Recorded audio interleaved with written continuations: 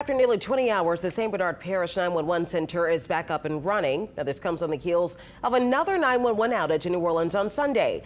Paul Murphy joins us from the Orleans Parish Communications Center near City Park. Paul.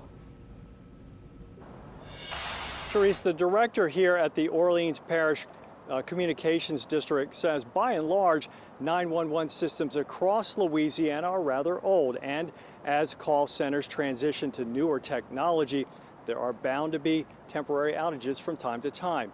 But backup systems kick in rather quickly to make sure that those emergency calls are answered.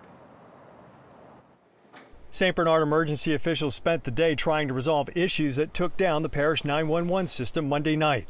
I believe the issue was AT&T. It was an AT&T problem, and it had to do with landlines, AT&T landlines, and certain prefixes. I believe there were 10 prefixes that it affected. Interim Fire Chief Charles Lashardi says the fire department's 911 call center has one of the phone numbers that went down. Our 911 center, the fire 911 center, does have AT&T landlines, but we do have backups. So the effect was it limited the numbers that we could get emergency calls from. New Orleans also had a problem with its 911 center on Sunday.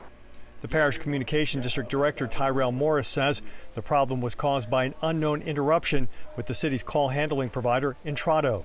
Every 911 center in the nation has a backup plan if your primary phone system goes down. Um, and so we just activated those plans, and I was super proud of the team here. They really sprung into action to make that happen rather quickly. The 911 center started receiving calls again within 15 minutes, but it took about two hours to get the primary system back online.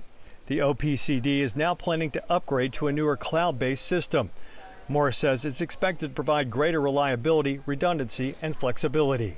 The 911 infrastructure in the whole state is aged, its legacy. It's time for us all collectively to upgrade to newer, more robust technology. Back in St. Bernard, Chief Lashardi says it's important to get any lingering problems with his 911 system corrected as we head into hurricane season.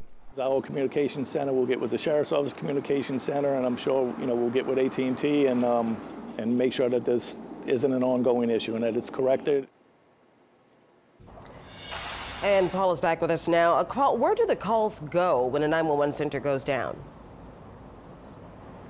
Therese, the way I understand it, the state has a handoff system whereby those emergency calls are answered and routed by neighboring jurisdictions when the call center goes down until it can get back up and running. For example, here in Orleans, when the, system, when the uh, system went down on Sunday, those calls were handled by Jefferson Parish.